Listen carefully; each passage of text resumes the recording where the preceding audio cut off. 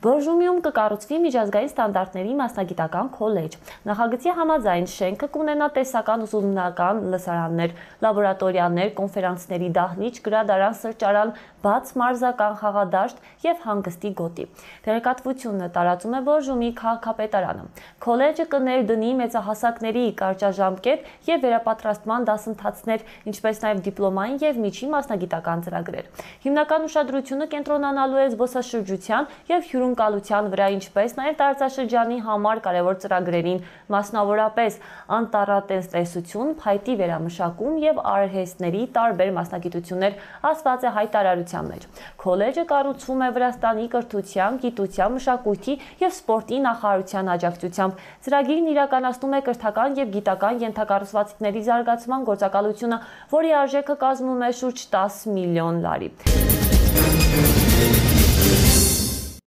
Հայաստանի Հանրապետության նախագահ Արմեն Սարգսյանը հանդիպման է հրավիրում վարչապետին եւ ընդդիմության ներկայացուցիչներին։ Պետության եւ ընդհանուր ճանապարհներ որոնելու նպատակով ստեղծված իրավիճակը քննարկելու ելք գտնելու համար մարտի 13-ին ժամը 12:00-ին ես վարչապետին, խորհրդարանական խմբակցությունների ղեկավարներին եւ հայրենիքի փրկության շարժման անդամներին հրավիրում են բանակցություններ վարել նախագահի նստավայրում, ասված է Հայաստանի նախագահի մամուլի ծառայության կողմից տարածված հաղորդագրության մեջ։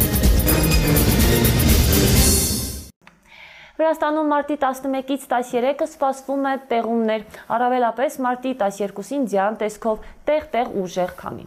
Ըստ շրջակա միջավայրի ազգային գործակալության բարձրալեռ շրջաններում հնարավոր է մառախուղ եւ ձնաբուկ, ծովում 3-ից 4 բալանոց փոթորիկ։ Ակնկալվող առատ տեղումները կարող են զգալիորեն բարձրացնել արևմտյան Վրաստանի գետերում ջրի մակարդակը, ինչպես նաեւ երկրի լեռնային շրջաններում առաջացնեն ձնահյուսեր եւ սողանքներ։ Ձյան առատ տեղումների տեսանելիության վատ թարացման, ձնաբքի մերկասառույցի եւ ձնահյուսի վտանգի պատճառով հնարավոր է ավտոմոբիլային ճանապարհների որոշ հատվածներում սահմանափակ տեղաշարժ։